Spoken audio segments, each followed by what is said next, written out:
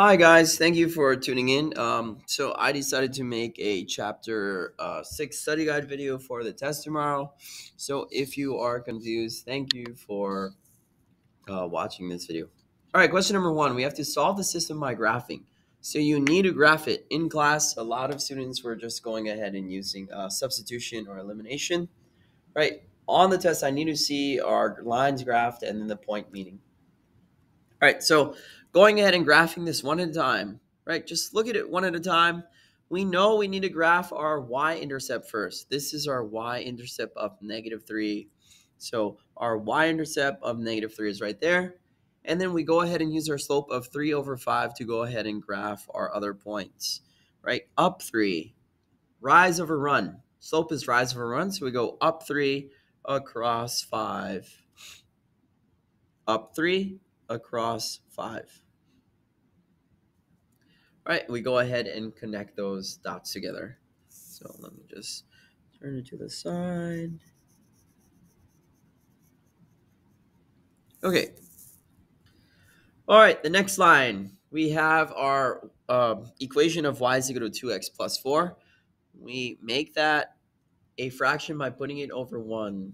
So our equation here is, uh, sorry, our y-intercept here is 4. All right, so basically we have to go up two across 1, right? Using our slope, we go up two across 1, up two across 1. But remember, our goal is to find where these two lines intersect. So we have to go the other way. So instead of going up two across 1, if we go down two and, across, and to the left one, hopefully you can see that that lines up with exactly our graph. It's the same thing, right? Down two and then across one is the same thing. Uh, so it's a positive slope, right? It's on that same line that we just created. So we have to go ahead and keep on following that pattern until we get to the place where it intersects down two across one. And remember, we need the exact point. So let's just go ahead and um, I don't think this is going to give us exact point because we just sort of eyeballed it. So let's go ahead and let's see. On this one, we're going to go across five and then down three. Cross five. Sorry, down three and then to the left five. That's going to be right there down three to the left five.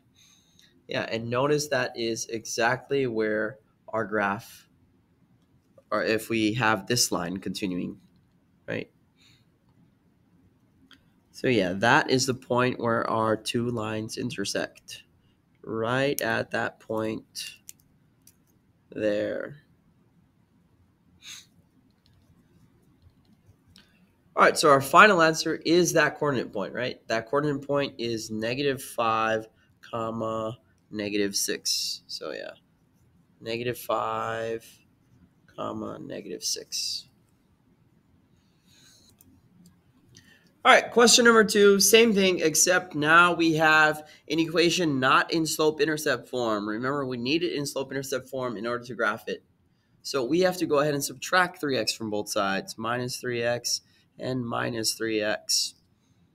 So minus 3x from both sides, we get y is equal to negative 3x plus 4. All right, so now we go ahead and graph it. Right, y is equal to 4x minus 3. That's going to be a negative 3 right there. That is our y-intercept. And our slope is 4 over 1. So we go up 4 across 1. 1, 2, 3, 4 across 1 one, two, three, four across one. All right, so let's just hold off for a bit on on uh, connecting those lines because as we saw last time, um, sometimes you may not get exactly where they cross. Uh, so we'll hold off on that. So that's that line. And the other line is going to be uh, y is equal to negative 3x plus 4. So once again, to make that a fraction, we can just put it over 1 we go ahead and graph our y-intercept at positive 4.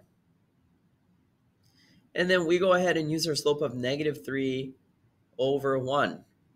So that negative 3, remember that negative 3 says to go down 3 and then across 1 So notice how that is going to be our answer right there, right? Because that's where our lines inter, uh, intersect.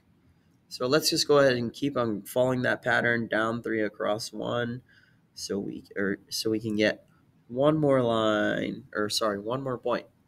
So we go ahead and connect those dots. And then we go ahead and connect these dots. And then, yeah, our answer, as I just said, is where that point or, or that point or that line, uh, sorry, that point where the lines intersect.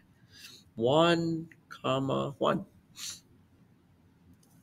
All right, question number three, same thing, right? We already have one line in slope intercept form. We want to put this also in slope intercept form. So we have to go ahead and subtract 2x from both sides. We have negative 6y. Negative 6y is equal to negative 2x minus 24. Divide both sides by negative 6.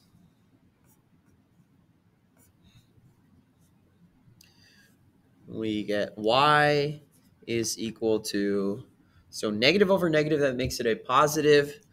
2 over 6, we can simplify that to be 1 third x and then plus 4. All right, so let's go ahead and think of these lines. y is equal to 1 third x minus 1. So graph our y-intercept first. And then we go up 1 across 3. Up 1 across 3. All right, we go ahead and connect those lines.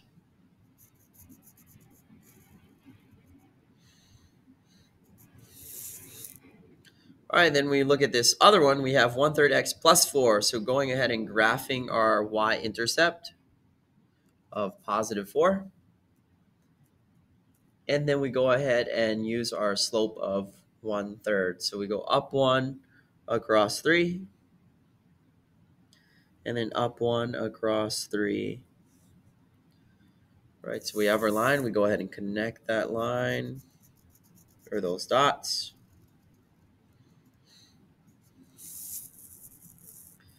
So basically, these lines are going to be parallel. How do we know they're going to be parallel? If we remember from chapter 5, parallel lines have the same slope. Same slope. Parallel lines have the same slope. All right, so our answer here, right? Usually we want to write our answer as an ordered pair, but we're not going to have an ordered pair, right? Because our lines don't intersect. So we say no solution. No solution.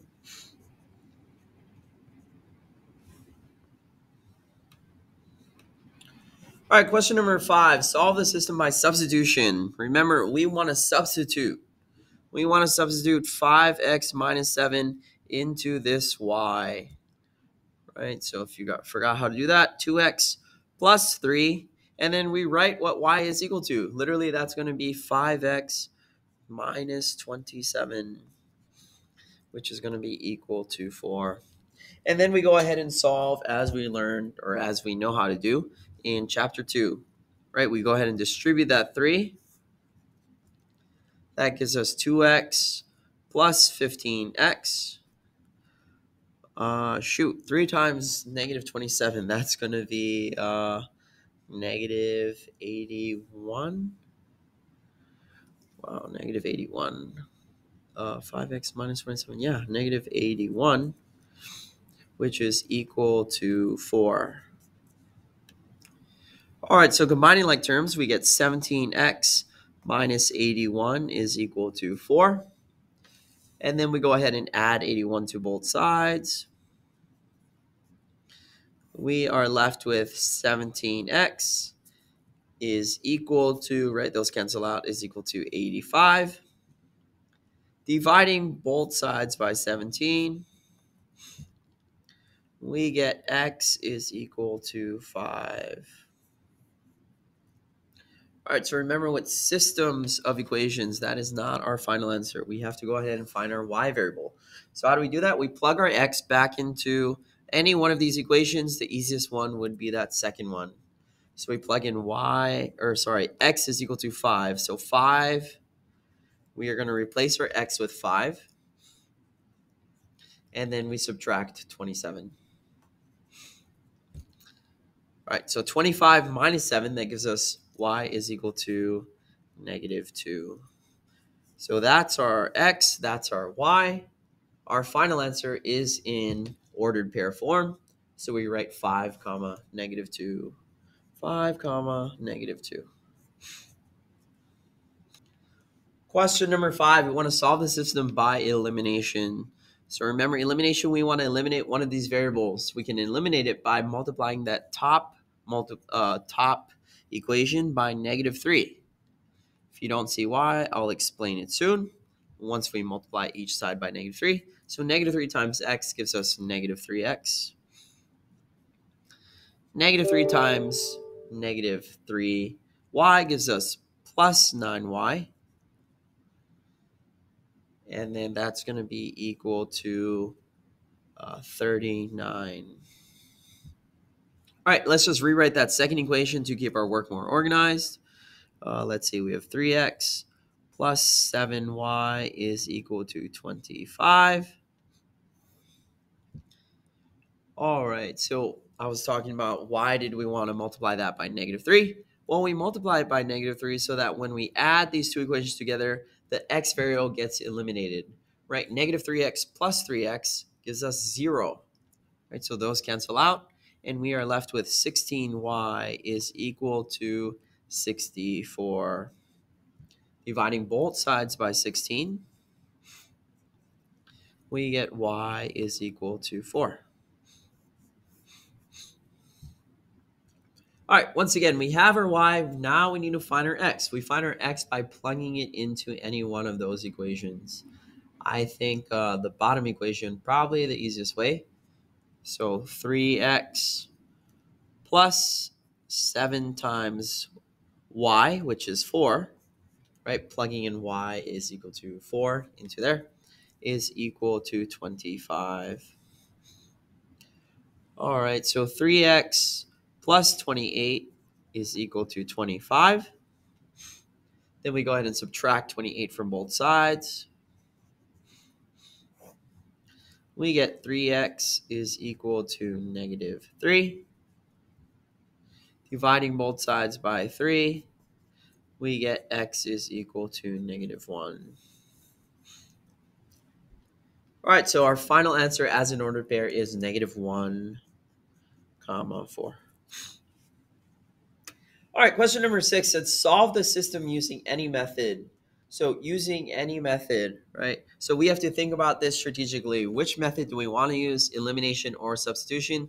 I think substitution is the easiest one because we can just go ahead and substitute this y or this negative x minus 9. They tell us it's equal to y into this right there. Right? Or you could do it the other way around, but either way, you should get something very similar to this.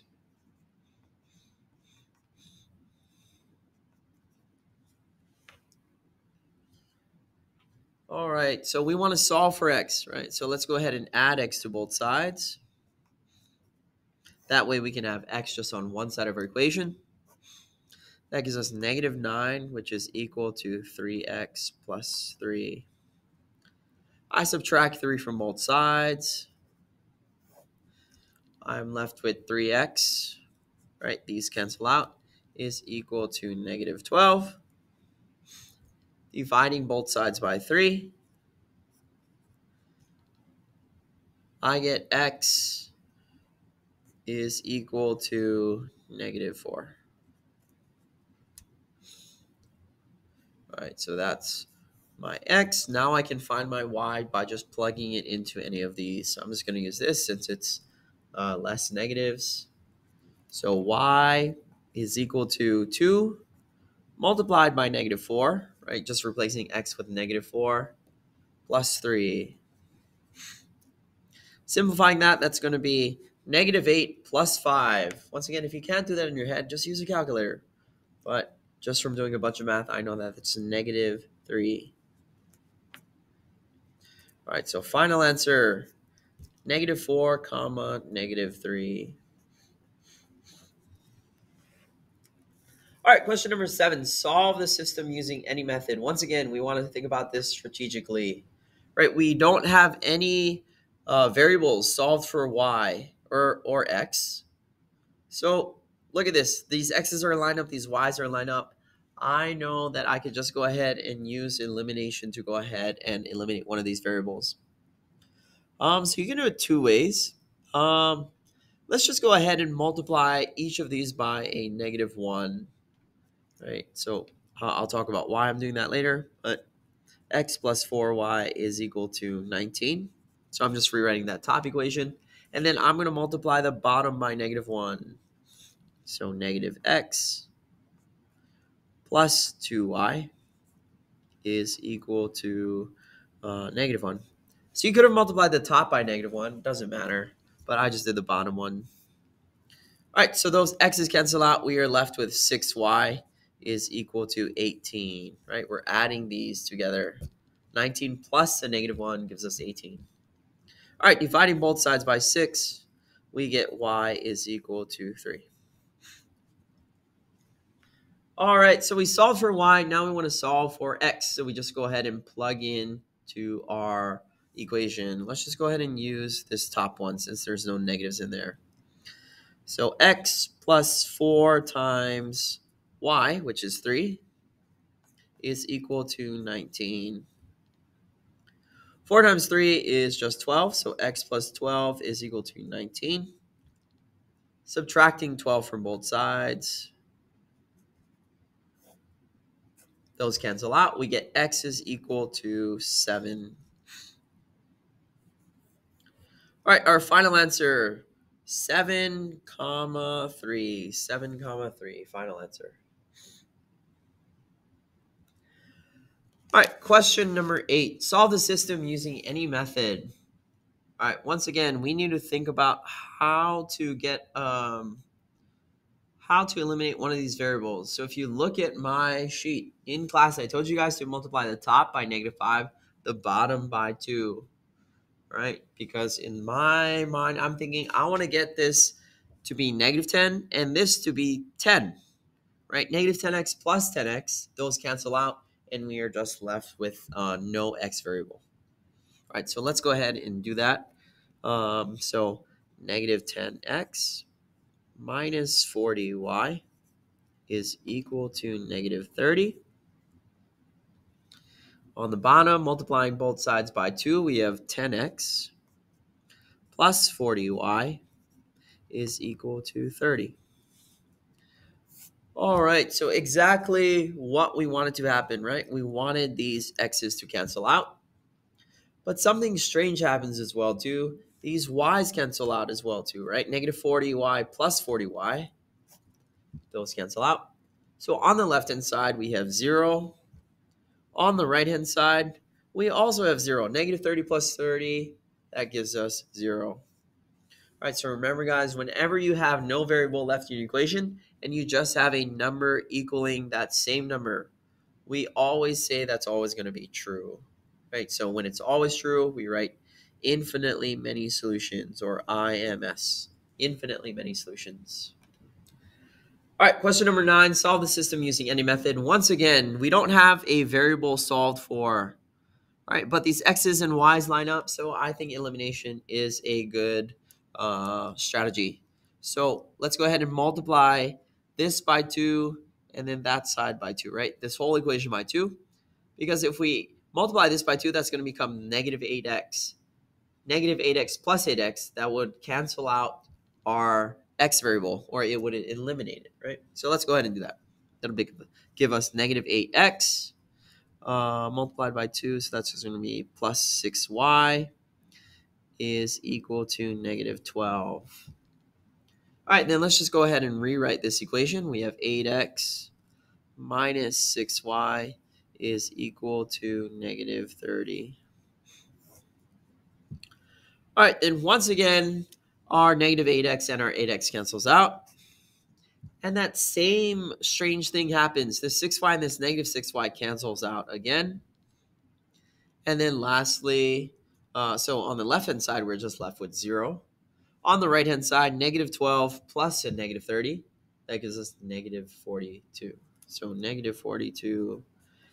So this time we don't have any variables left, but we have a number equaling a different number. That's never going to be true, right? So since it's never true, we say no solution. No solution. Never true. All right, question number 10. We want to solve the system using any method. Uh, I think uh, the easiest method right here, we already have y solved for, is going to be uh, substitution. Right, so substitute this y into this y right? We know y is equal to negative 7x minus 8. Let's just go ahead and plug that in. So 2 multiplied by x plus 5 times this, right? Negative 7x minus 8. And that's going to be equal to negative 7. Right, we go ahead and distribute that 5 first. We bring down the 2x uh, 5 times negative 7x, that's going to be minus 35x. 5 times the negative 8 is going to be minus 40. And that's going to be equal to negative 7. All right, combining like terms, we subtract 2x minus 35x. That gives us negative 33x. Eh, minus 40 is equal to negative 7. We go ahead and add 40 to both sides. I'm just going to continue up here. Right on the left-hand side, those two things cancel out.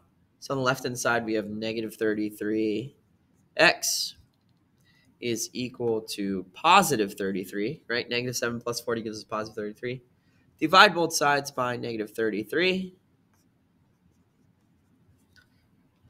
we get x is equal to negative 1. x is equal to negative 1.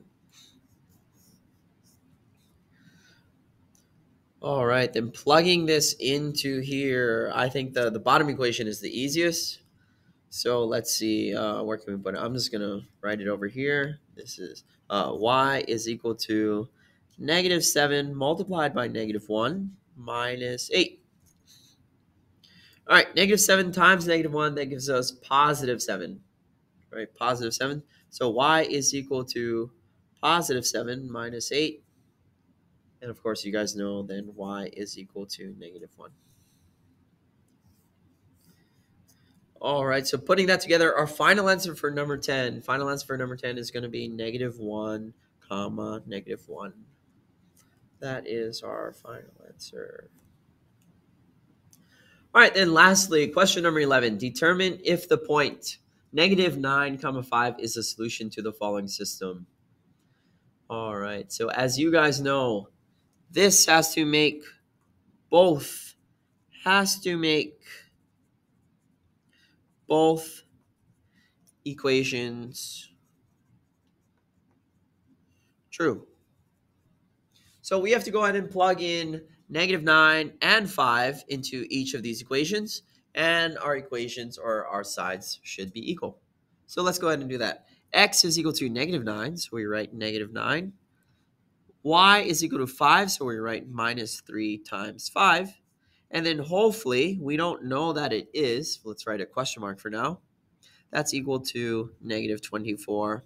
So let's go ahead and do some math. Remember, we have to multiply first. So uh, let's see, 3 times 5 is 15. So negative 9 minus 15. Is that equal to negative 24? Well, yeah, we know it's going to be equal to negative 24. Or if you want to plug it into your calculator, we know that's going to be true. All right, so once again, we need both equations to be true, though. So we need to plug it into both equations, right? Not just the top one. So let's go ahead and plug it into this one uh, 5 multiplied by negative 9. Once again, our, our x is equal to negative 9 plus 8 times 5 is hopefully, we're going to write a question mark there. Hopefully it's equal to negative 5. All right, negative 9 times 5, that gives us negative 45. 8 times 5 is plus 40.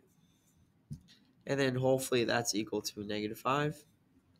Well, yeah, put that in your calculator or just from doing mental math, I know that negative 45 plus 40 is equal to negative 5. So both equations are true. So determine if the point negative 9 comma 5 is a solution. Final answer, we just say yes. It's a solution. All right, guys, thank you for watching, and I will see you tomorrow. Or if you're watching this tomorrow morning, I will see you this afternoon.